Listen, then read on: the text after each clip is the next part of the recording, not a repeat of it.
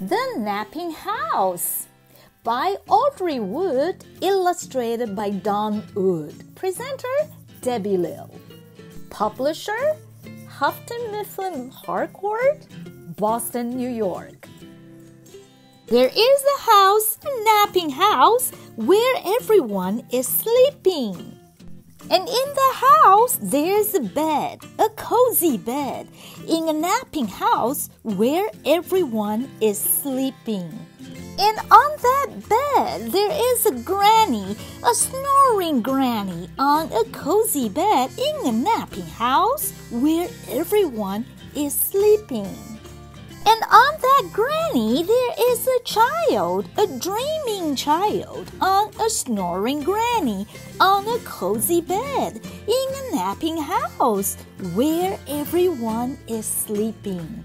And on that child, there's a dog, a dozing dog, on a dreaming child, on a snoring granny, on a cozy bed, in a napping house, where everyone is sleeping.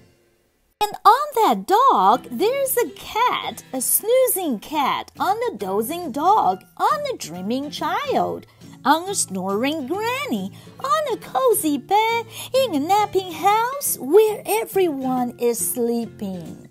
And on that cat, there's a mouse, a slumbering mouse, on a snoozing cat, on a dozing dog, on a dreaming child, on a snoring granny, on a cozy bed, in a napping house where everyone is sleeping. And on the mouse there is a flea. Can it be a wafer flea? On a slumbering mouse, on a snoozing cat, on a dozing dog, on a dreaming child, on a snoring granny, on a cozy bed, in a napping house where everyone is sleeping. A wakeful flea who bites the mouse. Who scares the cat? Who claws the dog? Who thumps the child? Who breaks the bed? In the napping house where no one now is sleeping. The end. What an interesting story! Dr. Seuss said, The more that you read, the more things you will know. The more that you learn, the more places you will go.